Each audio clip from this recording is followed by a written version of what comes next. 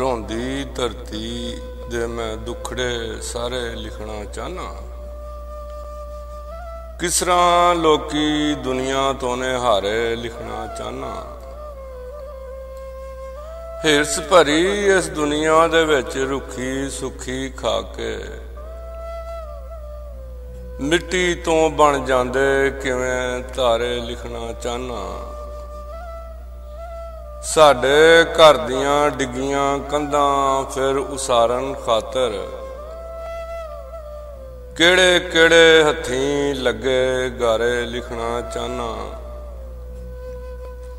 ਜਿਹੜੇ ਧਰਤੀ ਮਾਂ ਦੀ ਖਾਤਰ ਹੋ ਜਾਂਦੇ ਨੇ ਮਿੱਟੀ। ਕੁਝ ਉਹਨਾਂ ਦੇ ਬਾਰੇ ਵੀ ਸ਼ਾਹਪਾਰੇ ਲਿਖਣਾ ਚਾਹਨਾ।